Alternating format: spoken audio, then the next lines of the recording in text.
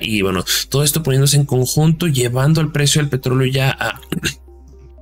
un nivel sumamente importante, el cual representa, lo hemos estado mencionando, tras la ruptura de los 80 dólares por barril. Personalmente me, da un indicio de que nos estábamos yendo hacia la resistencia de este rango, donde si bien obviamente por allá el tercer trimestre del año pasado, pues se quebrantó este rango, pues se reingresó eh, y pues prácticamente todo lo que habíamos estado viendo en el cuarto eh, trimestre y, todo este 2024, pues la operativa estaba confinada dentro de este de este nivel, dentro de estos niveles de precios, ¿no? Donde la parte inferior de este rango se ubica en torno a los 67 dólares por barril, donde la parte alta, la resistencia está en torno a los 82